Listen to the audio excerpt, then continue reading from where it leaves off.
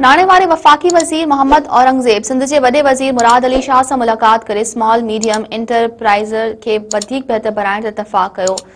नाणे वारे वफ़ाक़ी वज़ीर मोहम्मद औरंगज़ेब वॾे वज़ीर मुराद अली शाह सां मुलाक़ात कई मुलाक़ात जे वॾे वज़ीर जो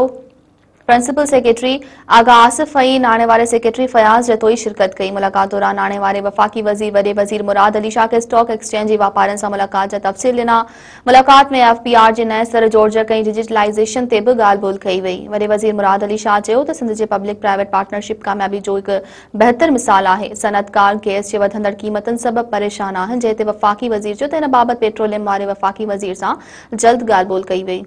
वॾे वज़ीर मुराद अली शाह ऐं नाणे वारे वज़ीर विच में मुलाक़ात दौरान ज़रा जी तरक़ी ते तफ़सीली ॻाल्हि ॿोल कई वई वॾे वज़ीर जो चवणु हो त असांखे फ़सलनि जी पैदावारी सलाहियत वधाइणी पवंदी मुराद अली शाह चयो त हू ऐं सनती तरक़ी ते ख़ासि तवजो ॾेई रहिया आहिनि बोड सबबि मुतासिर रोडनि स्कूलनि ऐं घरनि जी तामीर शुरू थी चुकी आहे ॿ हज़ार पंद्रहं में एफ पी आर गाॾियुनि जी रजिस्ट्रेशन जी मद में